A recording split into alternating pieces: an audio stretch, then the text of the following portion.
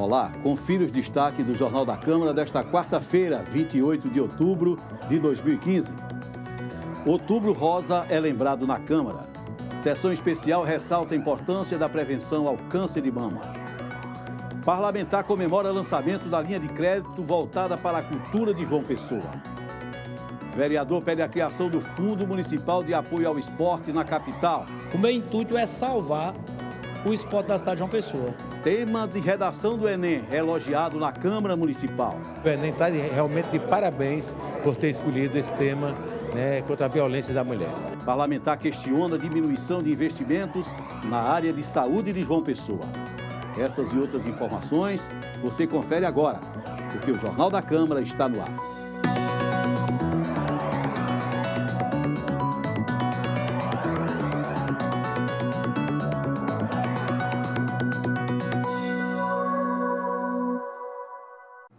Bom dia.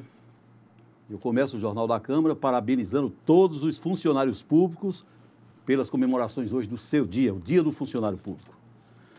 E o combate ao câncer de mama foi o foco da sessão especial realizada nesta terça-feira na Câmara Municipal. No mês oficial da campanha de conscientização sobre a doença, a vereadora Raíssa Lacerda trouxe o assunto com o objetivo de discutir políticas públicas e levar informação ao pessoense. No Outubro Rosa, temos um mês inteiro dedicado à prevenção ao câncer de mama. E a Câmara Municipal, que também apoia a campanha, não poderia passar sem falar do assunto. O Outubro Rosa é um alarme é só para lembrar, é como um lembrete que as mulheres têm um ano todinho para fazer a prevenção com mamografia, com sonografia, com seu autoexame em casa. Então, é de fundamental importância a Câmara Municipal de João Pessoa fazer essa sessão, levando o quê? Levando informações às mulheres, levando informações aos homens também, que têm suas esposas, têm suas mães, têm suas filhas. Entre todos os cuidados, o exame preventivo é fundamental, mas, segundo a nutricionista funcional e palestrante doutora Érica Nóbrega, uma boa alimentação pode contribuir também como preventivo. Estatisticamente, o câncer se manifesta do ponto de vista ambiental, de 90% a 95%. Então, você imagine que alguém pode trazer na sua herança uma tendência de desenvolver câncer, e isso representa em torno de 5 a 10%. O restante, as condições são ambientais, condições que podem ser mudadas. E nessas condições ambientais, a alimentação está inserida. Uma melhor alimentação, com certeza, vai fazer uma diferença na vida e no aparecimento precoce de câncer. A reunião também abordou os cuidados com as mulheres que estão fazendo o tratamento contra o câncer. A psicóloga Silvia Oliveira falou da importância do apoio da família e de um profissional para a recuperação. O estado emocional de uma paciente dessa, ao ser diagnosticada com um câncer de mama, então, afeta, dependendo do estado emocional dela, o quadro dela pode vir a cair ou não. A gente sabe que é, a ansiedade, a depressão, a angústia que essas coisas traz, elas afetam o nosso organismo, porque uma pessoa, quando está no estado emocional assim, ela tem um déficit na imunidade. E o segmento cultural de João Pessoa foi beneficiado com a linha de crédito Cultura Cidadã. A ação foi lançada ontem pelo prefeito Luciano Cartacho. O anúncio da liberação inicial de 2 bilhões de reais para a nova linha foi comemorado na Câmara pelo vereador Bira. Segundo o parlamentar, a medida foi proposta por ele através de indicação no ano de 2013.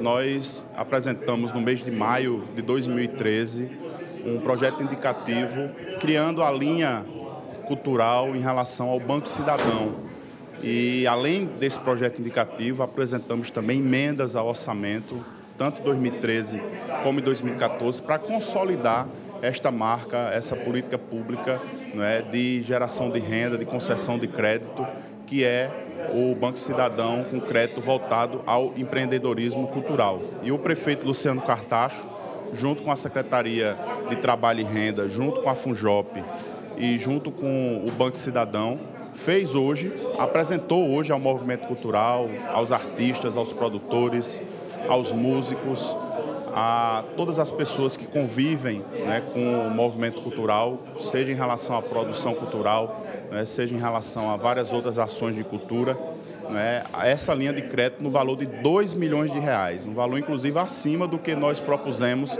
no nosso projeto indicativo, quando nós colocamos né, o valor de um milhão de reais. Então, isso consolidou esta marca e o prefeito apresentou os critérios né, e, juntamente com o Fundo Municipal de Cultura, que tem um perfil diferente, porque faz com que o fundo possa patrocinar projetos culturais específicos. Né? O, a linha de crédito do Empreender Cultural, do Banco Cidadão, né, você tem um desenvolvimento de alguns outros recursos que você não poderia incluir no Fundo Municipal de Cultura. Então, é mais um capital de, de giro para que o artista possa consolidar a sua produção. Né? Então, nós tivemos esse investimento bastante significativo e eu estou muito feliz por ter sido o autor deste projeto indicativo.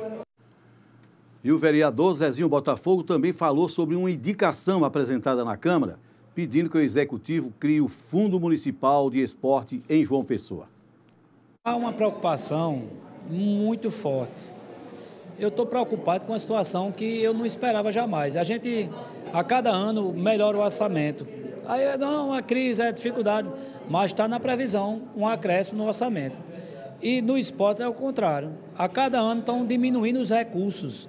Então, se a gente precisa de mais recursos, a população cresce, e a gente já provou aqui que não há uma política para o esporte da cidade de João Pessoa, nós temos que ir em busca de qualquer que seja é, a situação para que a gente consiga atrair, trazer recursos e respeito ao esporte da cidade de João Pessoa. Então, a gente às vezes aqui fala, e algumas pessoas querem levar para um outro lado, para o lado da política, para o lado da política partidária. E não é o meu intuito. O meu intuito é salvar o esporte da cidade de João Pessoa. Porque, repito, com essa queda drástica, nós tivemos, por exemplo, no ano de 2015, nós tivemos no orçamento, que é muito pouco, isso significa menos de 1%, foi destinado 12.900 mil, mil não, milhões, para o esporte. Nesse ano agora próximo, já está no orçamento 3 milhões e 700.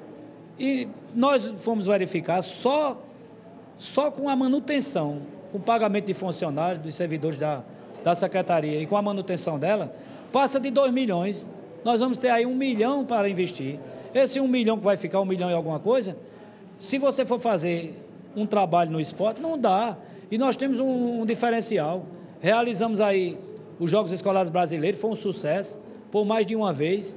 Está atraindo muita gente. Eu estou vendo, eu, quando eu vi aquilo ali, eu imaginei que a partir daquele momento o, a condição ia melhorar, que as pessoas iam ver o esporte com prioridade, para que a gente possa trabalhar com a criançada e com a juventude. Mas não, eu estou preocupado, então nós vamos em busca de conselho, de cultura, de tudo para que a gente possa salvar o esporte. Muito bem, e a partir de agora eu converso com a vereadora Elisa Virgínia, do PSDB, que é a nossa convidada de hoje. Bom dia, vereadora, seja bem-vinda. Bom dia, Nilson. Bom dia a todos os telespectadores da TV Câmara. É um prazer estar aqui novamente. Vereadora, nós vimos aí a preocupação do vereador Zezinho Botafogo com a questão do esporte. O orçamento da secretaria foi reduzido. Uhum.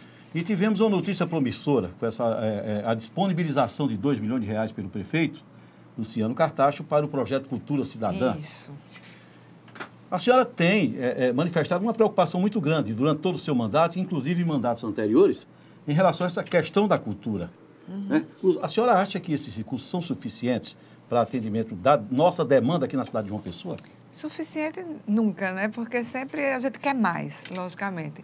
Mas isso, isso é um investimento interessante e muito criativo. No momento de crise como esse, o prefeito Luciano Cartacho, ele coloca as suas secretarias para pensar e analisar e ver o que, é que a gente pode fazer para incentivar tanto a cultura, como o esporte, como, por exemplo, a, a questão do digital, que a semana passada foi liberada uma linha de crédito para os projetos de pessoas que trabalham com, com programas de computadores, com jogos, com aplicativos tecnologia com tecnologia da informação. Então, foi feita uma parceria, uma parceria entre a Secretaria de Trabalho, com o Banco Cidadão, e a Secretaria de, é, de Ciência e Tecnologia, que é do secretário Bival. Então, Diogo e Bival fizeram essa junção e aí é, deram para muitas pessoas uma lei de crédito de, de até 15 mil reais para produzir essas questões na questão da, da tecnologia. E a senhora pretende sugerir isso também para o esporte? Para o esporte. Ontem foi a vez da cultura e nós estamos indicando que o prefeito faça também no esporte. A cultura, como é que vai funcionar? Por exemplo, existe o Fundo Municipal da Cultura, que é, é lançado o edital, as pessoas se inscrevem, fazem um projeto e aquele projeto vencedor, aqueles projetos vencedores, eles são patrocinados pelo, pelo Fundo Municipal da Cultura. Isso é um, por exemplo, CDs, livros, vídeos, enfim, vários projetos que é exclusivo para aquele financiamento. A linha de crédito, não. É dada uma linha de crédito, um empréstimo, que varia de 3.800, 5.000, 7.000 até 15.000 para o, o, é, o, artista e ele pode usar esse dinheiro com várias coisas. Ele pode usar esse dinheiro comprando sua passagem para fazer sua exposição lá em São Paulo, em Roma, em Paris, em qualquer outro lugar. Uhum. Ele pode usar para é, é, caixa dele mesmo, pode comprar suas telas, pode comprar seu material, matéria-prima, enfim, pode usar o que ele quiser. Ele vai ter três meses de carência total e a partir dali vai pagando. Isso, Isso é com muito... a taxa de juros reduzidíssima. Reduzidíssima. E aí nós pensamos, ontem eu estava com o prefeito nesse lançamento, eu digo, vamos fazer isso também para o esporte. O esporte é, é muito precário. Às vezes a situação, existe um, um, um esportista que está aí convidado, que pode participar de uma, é, de uma disputa no Rio, no São Paulo, e não tem nem o dinheiro da passagem, da passagem é não tem nem o dinheiro da hospedagem, e a gente vai estudar essa, essa, essa possibilidade também, juntamente com, a, com o Banco Cidadão da Secretaria de Trabalho, com o Diogo Tavares. Ah, muito bem. É, são, são notícias promissoras e vamos torcer para que dê certo. Mas, vereadora, nós estamos terminando o mês de outubro, uhum. né? a campanha Outubro Rosa também está terminando. Eu gostaria que a senhora fizesse um balanço né, do Outubro Rosa e me dissesse alguma coisa é, é, do que a senhora pensa sobre o Novembro Azul também. Vamos começar pelo Outubro Rosa que é essa campanha de prevenção ao câncer de mama, que é muito importante. Muito importante. Ontem eu e a vereadora, a vereadora Raíssa fizemos uma sessão especial. Ainda estou com o meu lacinho aqui, viu, gente? E esse lacinho a gente usa durante esse mês para lembrar as mulheres, inclusive a mim, que estou em falta também com minha médica, minha médica maravilhosa Débora, que teve ontem aqui também, a mastologista. E a gente observou os dados. Os dados são alarmantes. Está previsto para que em 2015, na Paraíba inteira, temos, temos 750 casos de câncer de mama. Isso é muito. E o índice, o índice da Paraíba, ele é maior de mortes. Eu estou falando do índice de morte, gente. Se morre com câncer ainda. Mas a previsão são 715 casos, casos de possibilidade de, de possibilidades de morte. Não, de casos de, de, de, de, câncer. de câncer. Mas as mortes, por exemplo, é, no Brasil, para cada 100 mil mulheres, morre seis. E aqui na Paraíba, para cada 100 mil, morre nove. É. Muito já é um, um, índice bem bastante diferente e elevado. E o que, a, e o que é que causa a morte por câncer? Porque hoje o câncer, se ele for é, detectado preventivamente, ele é possível, muito possível de cura, não é? A gente temos, nós, nós temos ainda a radioterapia, é, todos os remédios, toda a tecnologia avançada que está dificultando, que está melhorando a questão da saúde e da qualidade da, da vida da mulher que tem câncer.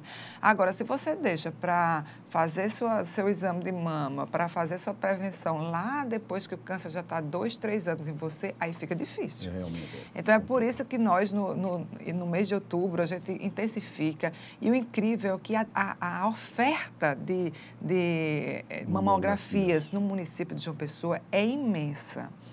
A procura é baixa, é o contrário as mulheres elas têm uma dificuldade é muito grande. Mesmo. Não é nem tanto desinformação. Elas acham que dói, que incomoda, que não vai fazer, que não precisa. Então, quando ela vai procurar, é porque sentiu alguma coisa no seu, é que vai procurar.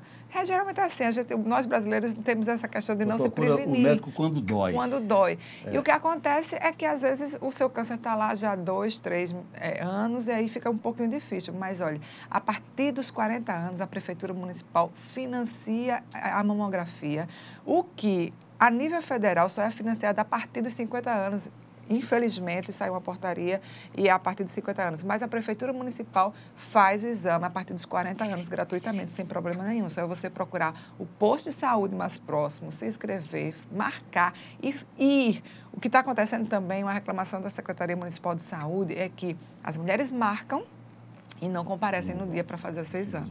Aí perde, aí vai esquecendo muita coisa, filho, marido, trabalho, e você vai esquecendo de você. E depois quem vai substituir você se você ficar doente, não é, é verdade? É e deixa eu te dizer só mais um índice. De, dos 17 mil, das 17 mil marcações que tivemos durante o, o mês de janeiro a setembro, só 7 mil foram exclusivamente no mês de outubro. Ou seja, as pessoas procuram no mês de outubro porque fica se lembrando, se faz propaganda, é, esquece que tem um ano inteiro é. para fazer totalmente tranquilo. Aí o que acontece? Às vezes superlota nesse mês, se faz às vezes um, um, uma tempestade no copo d'água, dizendo que não está tendo vaga, mas não é isso. É como é se por... a doença só ocorresse no mês de outubro. Não, né? gente, não é a doença está aí todo o tempo, é, é né? e mês que vem tem o outubro, o novembro, novembro azul. azul. É claro. A gente aborda a questão do novembro azul daqui a pouco, vereadora, uhum. e vamos fazer uma pequena pausa e veja a seguir.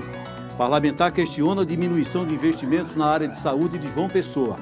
O Jornal da Câmara volta já.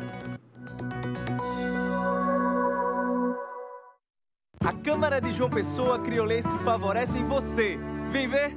O programa de combate ao bullying está em todas as escolas municipais. A rede municipal de ensino incluiu o tema Educação no Trânsito em suas atividades. E o programa de enfrentamento à violência contra crianças e adolescentes já é realidade.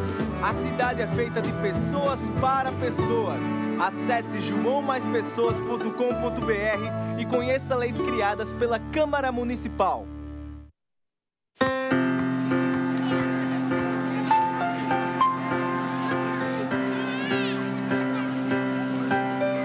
Que passa pela Câmara fica para você. Câmara Municipal de João Pessoa.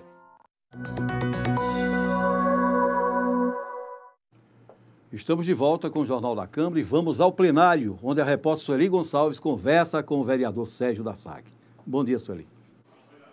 Bom dia, Edmilson. Bom dia a todos que acompanham o Jornal da Câmara. A vereadora Elisa Pois é, o vereador Sérgio da SAC já está aqui ao meu lado e hoje à tarde ele irá realizar uma sessão especial para comemorar a fundação do bairro Valentino Figueiredo. Vereador, bom dia. Bom dia, bom dia Edmilson, bom dia Elisa, bom dia a todo telespectador desse grande jornal. Hoje à tarde nós estamos fazendo mais uma sessão especial em homenagem ao Conjunto Valentina Figueiredo. Conjunto esse que é o conjunto residencial ao que eu moro, né? Ele está fazendo 29 anos e nós estamos fazendo uma sessão solene também, entregando também um título de cidadão pessoense àquelas pessoas que também contribuíram para o desenvolvimento do conjunto.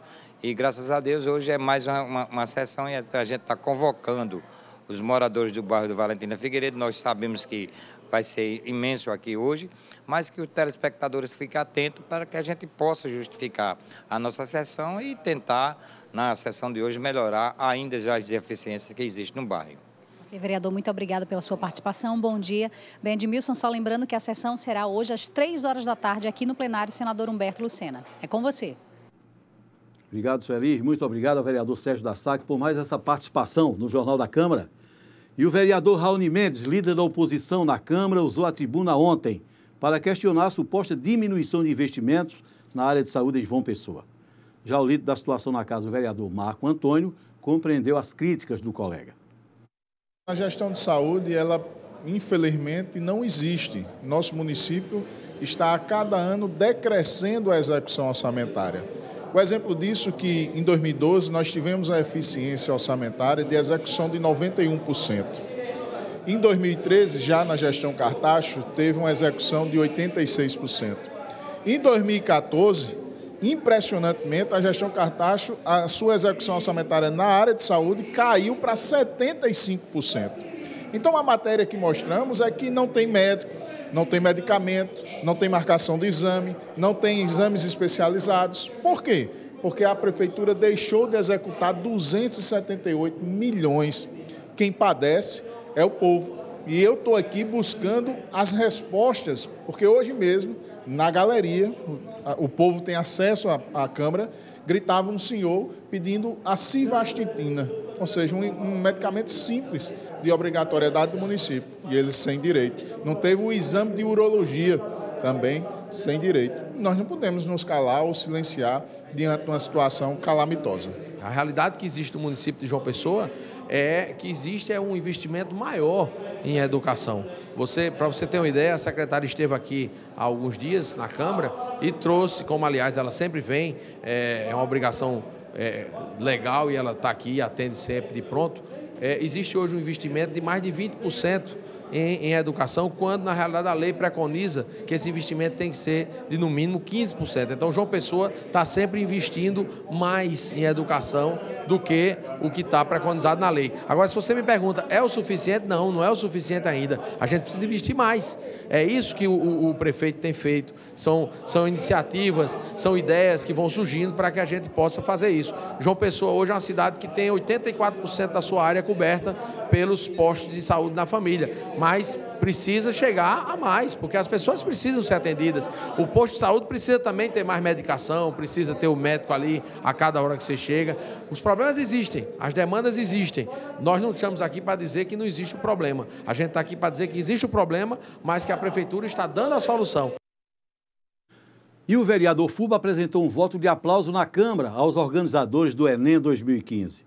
Ele ressaltou a importância de discutir questões tão importantes para a sociedade como a violência contra a mulher, tema da redação deste ano. Sabemos que vivemos numa sociedade patriarcal, é, uma conservadora, machista, e o Enem trouxe esse tema, abordou esse tema para quase 8 milhões de pessoas no Brasil. Então, fez com que as pessoas pensassem né, sobre, sobre o tema, sobre a violência contra a mulher, que tem aumentado cada vez mais. Sabemos que isso é uma discussão a nível nacional, de identidade de gênero, tudo isso que está acontecendo no Brasil. E eu vi assim, uma reação das pessoas na, na, nas redes sociais que até me assustou. Muitos dizendo, inclusive, porque é, era, isso era um governo de esquerda que abordava esse tema.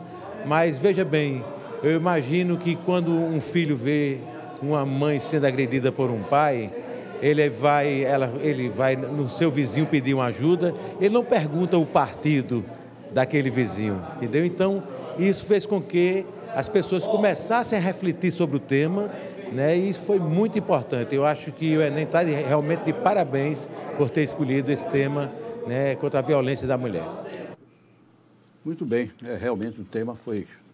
O Enem foi muito feliz ao escolher esse tema. E eu volto a conversar com a vereadora Elisa Virgínia do PSDB, a nossa convidada de hoje. Vereadora, o tema é palpitante. Super. O assunto né, é, é, é motivo de uma preocupação constante de vocês parlamentares, principalmente do seu mandato. E eu gostaria que a senhora fizesse uma avaliação é, sobre tudo isso que está acontecendo. Né? Claro, teve essa iniciativa do Enem, que foi muito importante, despertou milhares e até milhões de pessoas para o tema. É bom que se aborde essa questão de forma constante? É muito bom, é. foi interessante demais. Quando meu filho chegou, né, no domingo, ele fez o Enem para valer. Ele já fez dois anos, mas esse ano ele fez para valer. Eu digo, e aí, a redação foi boa? Ele disse, foi. Eu digo, qual foi o tema? Violência da mulher. Eu digo, nossa, que legal. Ou seja, imagine só, 8 milhões de pessoas, 8 milhões, principalmente da maioria jovem, falando sobre esse tema é um tema que tem que ser debatido e principalmente com os meninos que estão crescendo, as meninas que estão crescendo, para eles assimilarem, para eles verem a problemática, para eles se aprofundarem no tema e com isso aprenderem alguma coisa para não fazer daqui a alguns anos o que estão comentando. Exatamente. E é muito importante porque a questão da educação tem que vir de berço, tem que vir de casa. Eu tenho dois filhos homens e a gente procura principalmente educar é, educá-los com os nossos exemplos, porque uma criança ela aprende muito mais com o exemplo do adulto do que você botando um livro e, e mandando ele fazer a, a, tarefa de casa.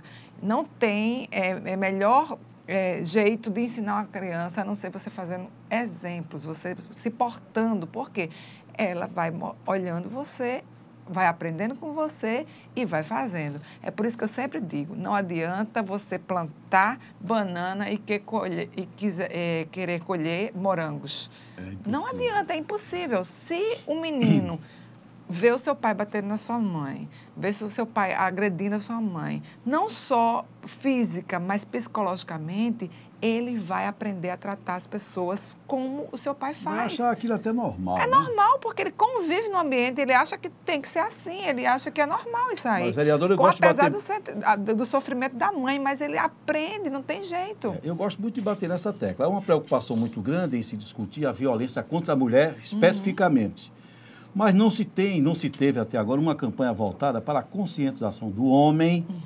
Para que ele não haja dessa forma. Não sei se você lembra, em 2012, dezembro de 2012, emblemático isso no meu mandato. Eu fiz um projeto de indicação para criar o Núcleo de Proteção à Família e disse que esse Núcleo de, eh, Proteção à Família era principalmente voltado para tratar as famílias como um todo, mas principalmente o homem. Infelizmente, eu fui mal interpretada pelas feministas, elas estiveram aqui com, com faixas, fora lisa, o, é, violência não é doença, o homem não está doente, não precisa se curar. Precisa sim. O homem que, que, pratica violência, ele tem que ser tratado. O negócio da questão está aí. Gente, não adianta. Gente, é, é, é, existe um ciclo da violência que começa. Homem bate na esposa, agride a esposa, violenta. Esse homem, a esposa denuncia pela Lei Maria da Penha, ele vai para a cadeia. Chega lá, ele aprende muito mais, né? Ele, ele se torna PHD em violência. É. E ele volta. Quando ele volta para o seu lar, ele vai continuar fazendo a mesma coisa, mas muitas das vezes ele não volta para o seu lar, porque se separou, ele, mas ele não vai ficar o resto da vida sozinho. Ele procura outra mulher, a outra mulher cai naquela lábia primeira dele, o romantismo vai, só que aquela mulher já tem filhos e filhas e aí eu alerto para as mulheres que têm filhas do primeiro casamento, do primeiro marido, e aí é, ficam com união com aquele homem. E o que acontece muitas das vezes? O índice de violência contra enteadas está aumentando muito, porque aquele segundo marido, aquele namorado, ele além de, de, de, de querer namorar com a sua nova mulher, ele está vendo aquela menina de 10 anos crescer. É, isso tem acontecido com ele frequência. começa a ter ciúme daquela menina, ele começa a controlar aquela menina de 12, 13, 14 anos, ele fica louco. Isso aconteceu lá no Grotão. É, aconteceu aí, um caso que morreu a mãe e morreu a imensa. filha, gente. Aquela menina já estava morando na casa da avó, porque ela não aguentava mais o assédio do seu padrasto. E aí, um dia só que ela foi para a casa da sua mãe, ele aproveitou para tentar alguma coisa com ela, com certeza, e aconteceu aquele absurdo, né? Morreu ela, a sua mãe morreu com duas facadas no rosto. Eu fui para o enterro, eu conheço o pessoal da igreja lá, eu fui e, e eu estou fazendo uma campanha na minha igreja e nas outras igrejas onde eu chego que eu consigo falar com lideranças.